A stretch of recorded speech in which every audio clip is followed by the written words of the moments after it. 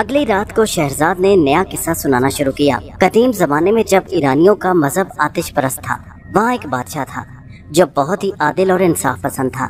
उसकी रियाया शाद मुल्क आबाद और बड़े अमनो चैन से वक्त गुजर रहा था। बादशाह का दस्तूर था कि साल के पहले दिन ईद का रोज मनाता सब अमीरों गरीब शहर से बाहर एक मैदान में जमा होते।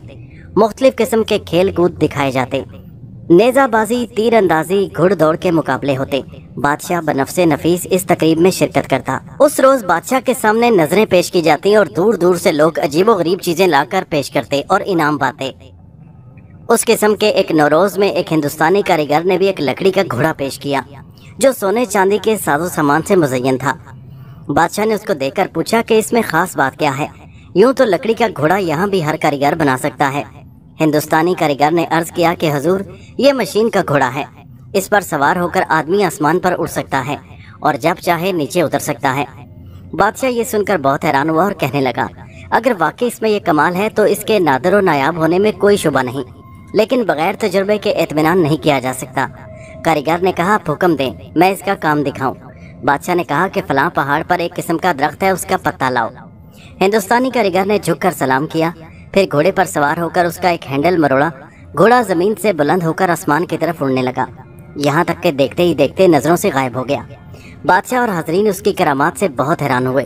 थोड़ी ही देर गुजरी कि फिर वही घोड़ा उतरता नज़र आया और लम्हा भर में ज़मीन पर आकर ठहर गया। कारीगरों ने घोड़े से उतरकर मतलूबा पत्ता बादशाह के सामने पेश किया। बादशाह ने घोड़े और कारीगर की बहुत तारीफ़ की और कहने लगा, बेशक ये अजायबात आलिम में एक चीज़ है और मैं इसको लेने के लिए तैयार हूँ। बताओ तुम इसके एवज क्या लेना चाहोगे? कारीगर कहने लगा कि मुझे रुपया, पैसा और किसी चीज़ की ज़रूरत नहीं। बादशाह ने हैरानी से पूछा तो फिर क्या चाहिए? कारीगर बोला, हजूर हजूर मेरी शादी अपनी साहबजादी से कर दें। बस यही इसकी कीमत है। कारीगर की बात सुनकर हाजरीन सन्नाटे में आ गए, लेकिन शाह ईरान नाराज़ नहीं हुआ और गहरी सोच में पड़ गया। बादशाह के लड़के शहजादा फेरोज ने सोचा कि घोड़े की जात देखकर वालिद पसंद कर चुके हैं। कहीं ऐसा ना हो कि वो शादी का इकरार कर लें और सारे जमाने में हमारी बेजती हो कि शाह ईरान का दमाद एक बड़ई है। इस घोड़े का कुछ इंतज़ाम करना चाहिए। फिर उसने सोचा कि क्यों ना मैं इस पर सवार होकर उड़ जाऊँ और चंद रोज गायब रहूँ।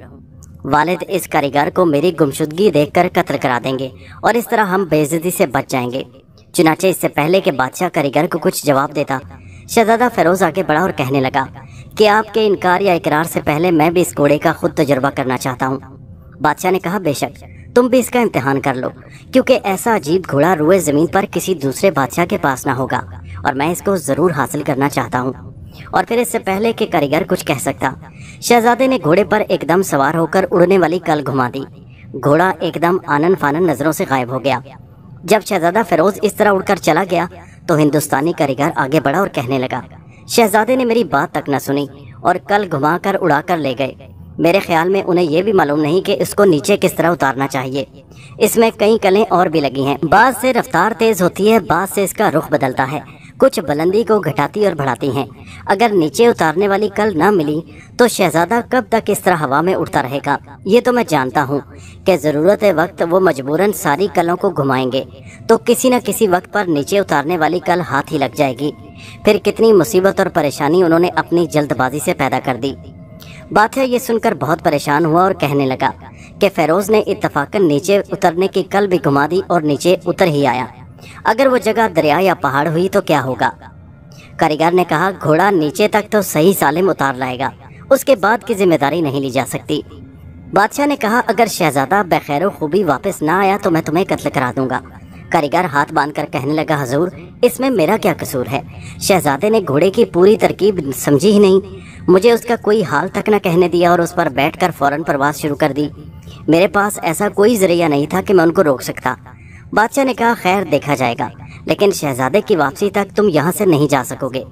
फिर उसने कोतवाल को हुक्म दिया कि इसको अपनी निगरानी में रखो। उसके बाद बादशाह बड़ी सरासिमगी के आलम में महल की तरफ़ चला और मेला दरम बरम हो गया। शहजादा फेरोज घोड़े पर सवार होकर उसको उतारने के लिए मुख्तलिफ़ कलों को घुमाने लगा, लेकिन जो जो वह पुरजों को हिलाता, बुलंदी बढ़ती जाती। यहाँ तक के बड़े बड़े पहाड़ रेत के ज़रात मालूम होने लगे। उस वक्त फेरोज की तबीयत इतनी घबराई कि मुमकिन था वो अपना तवाजन खो बैठता।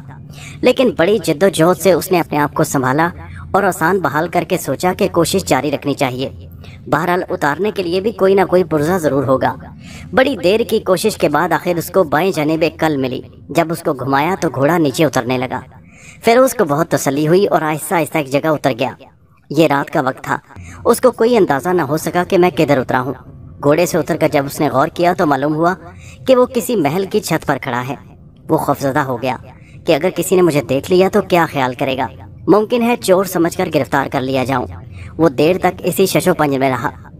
जाए रफ्तन ना पाए मानदन। आखिर उसने यही फैसला किया कि जो कुछ भी हो नीचे उतरकर देखना चाहिए कि किसका मकान है। मुमकिन है मेरी हालत पर रहम आ जाए। लेकिन अगर उम्मीद के खिलाफ कोई खतरा नज़र आया तो घोड़े पर सवार होकर उड़ जाऊँगा। ये तय करके शहजादा फिरोज जीना की तलाश में इधर उधर फिरने लगा। मामूली सी कोशिश के बाद उसे जीना मिल गया, और वह बगैर किसी आहट के नीचे उतरने लगा। अंदर से महल नहायत आरास्ता था। हर तरफ़ काफूरी शमें जल रही थी। दलान में कई ख्वाजा सरा आराम की नींद सो रहे थे। उससे आगे कमरे में चंद नहायत हसीन सलोनी रंग की कनीजें महवे ख्वाब थी। शहजादे ने अंदाज़ा कर लिया कि यह शाही जनाना महल है। हिम्मत करके और आगे बढ़ा तो एक कमरे के दरवाजे पर रेशमी पर्दे लटक रहे थे। जा बजा नहायत नायाब तस्वीर आमेजा थी। अंदर गया तो देखा कि एक नाजुक से छपर कट पर एक हसीन और जमील नौ उम्र शहजादी शब ख्वाबी के लिबास में आसूदा ख्वाब थी। फेरोज रानाई जमाल देखकर हज़ार जान से शहजादा आशिक हो गया। इतफाकन शहजादी की आँख खुल गई और वो अपने कमरे में एक गैर शख्स को देखकर डर गई। करीब था कि उसकी चीख निकल जाए। लेकिन शहजादे ने हाथ बांधकर अर्ज़ की कि सज़ा से पहले मेरी दास्तान मुसीबत सुन लीजिए।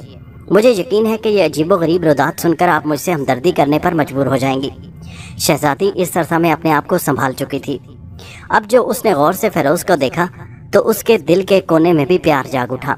शहजादी ने कहा, बैठ जाओ और मुझे बताओ तुम कौन हो और किस तरह यहाँ पहुँचे? शहजादे ने एक तरफ़ बैठकर अदब से अपना वाक्य सुनाया कि मैं ईरान का शहजादा हूँ। आज सुबह ईद नौरोज के बाद एक हिंदुस्तान का कारीगर एक कल का घोड़ा लाया, जिसको मेरे वालिद ने तजर्बे के बाद बेहद पसंद किया। लेकिन उस कारीगर ने मुआवजे में बादशाह की बेटी का रिश्ता मांगा। बस मैं गैरत के जोश में बगैर घोड़े की पूरी माहियत दरियाफ्त करने के उस पर बैठ गया और उड़ा लिया, लेकिन उतारना ना जानता था। तमाम दिन हवा में उड़ता रहा, ये इरादा था कि इसको तबाह कर दूँ, ताकि एक अदना से आदमी से अपनी बहन की शादी को रोक सकूँ। मैं उड़ने को तो फ़ौरन उड़ गया। अब मुश्किल नीचे उतरने की कल मालूम होने से अंधेरे में आपके महल की छत पर उतर गया और रास्ते की तलाश में यहाँ तक आ गया। लेकिन यहाँ आकर तो मैं अपने आप को भूल गया। शहजादी फिरोज का आखिरी फिक्रा सुनकर शर्मा गई और फिर हल्की सी मुस्कुराहट के साथ कहने लगी, कि आपकी दास्तान वाकई अजीब है, लेकिन इतमान रखिए, यहाँ आपको कोई तकलीफ़ नहीं होगी। मैं सुबह आपका घोड़ा भी देखूँगी, उसके बाद उसने अपनी खास कनीज को बुलाया और सब हाल बयान करके ये भी कह दिया कि इस शहजादे को मैं प्यारी लगी हूँ। चंद रोज मेहमान रखूँगी, इसका राज किसी पर ज़ाहिर न करना। कनीजों ने उठकर उसी वक्त शहजादे के लिए खाना वगैरह तैयार किया। शहजादा फिरोज, खाना खा चुका तो एक अलग कमरे में उसके सोने का इंतज़ाम कर दिया गया।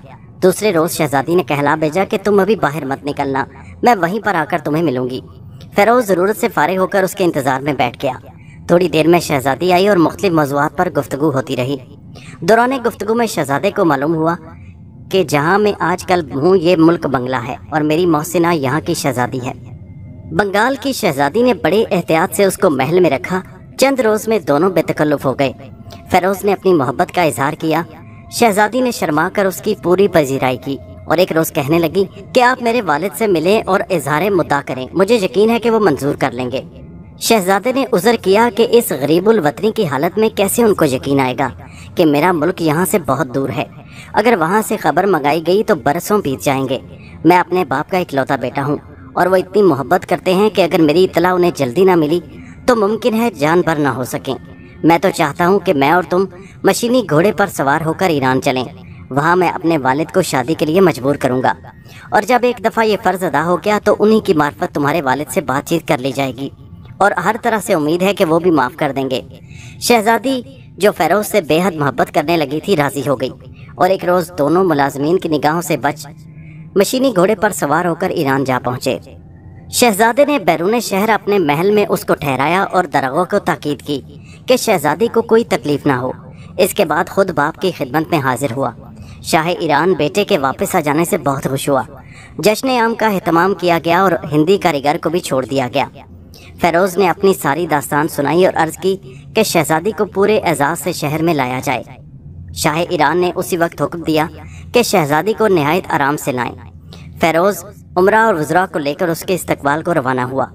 हिंदुस्तानी कारीगर जब छूट कर बाहर आया तो उसको सब हालात मालूम हुए तो वो दिल में जला हुआ तो था।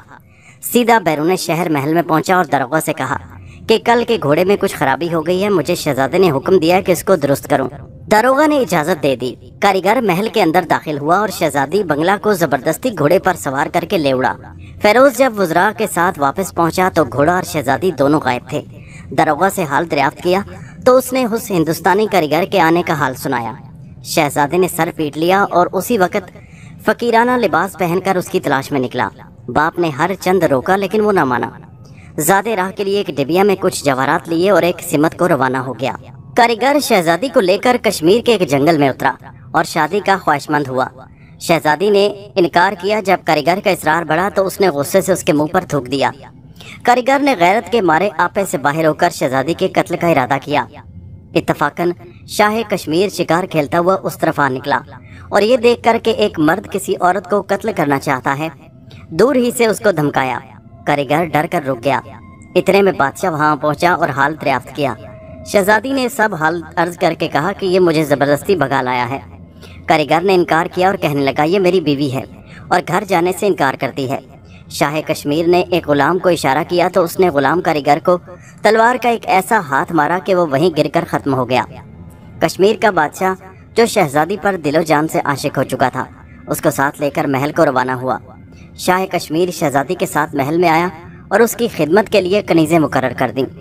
चंद रोज़ के बाद शहजादी को मालूम हुआ कि बादशाह भी उस पर आशिक हो चुका है और उससे निकाह करना चाहता है। वो घबराई और दो तीन दिन तक रोती रही कि अब मैं क्या करूँ। आखिर उसकी समझ में एक तदबीर आ गई। चुनाचे शादी से एक हफ़्ता पहले वो बीमार बन गई। कपड़े फाड़ डाले, पास आने वालों को भी मारती, कभी काटने को दौड़ती।